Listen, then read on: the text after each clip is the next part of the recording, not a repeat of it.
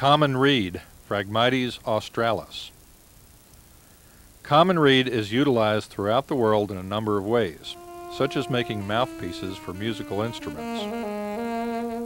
Common reed grows from rhizomes and can be dominant over large areas. In Florida, it is found in fresh and brackish water swamps, along lake shores and in canals. It can grow in water several feet deep or on shores. Common reed has stiff, erect stems that grow 6 to 15 feet high.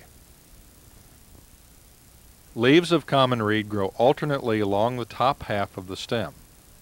They are flat and strap-like, an inch or more wide, tapering to a long point.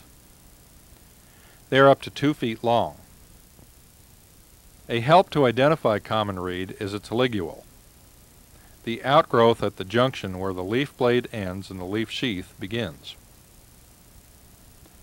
In common reed, the ligule is fringe-like and looks like it's covered with many very short bristles. Common reed also may be identified by its large, silky inflorescence that grows at the tops of the stems.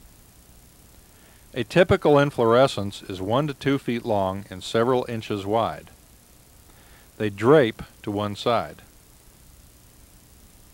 The light brown inflorescence of common reed has many branches, each of which supports several smaller branches.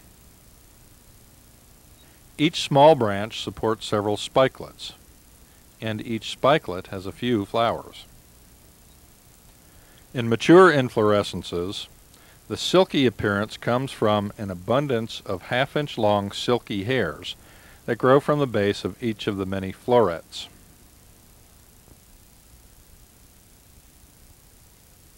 Common reed has stiff, erect, tall stems.